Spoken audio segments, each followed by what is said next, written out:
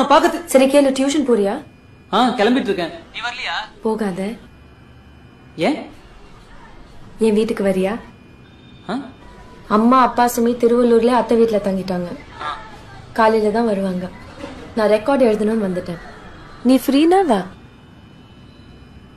நிஜமாவா ஆமா கரெக்டா ஆறு மணிக்கு வா. நான் டோர் ஓப்பனா விடுறேன் நீ திறந்து உள்ள வந்துரு. பக்கத்து வீட்டு ஆண்டி உன்னை பார்த்தாங்கன்னா என் அம்மாட்ட போட்டு கொடுத்துருவாங்க நான் பங்கம். ஓகே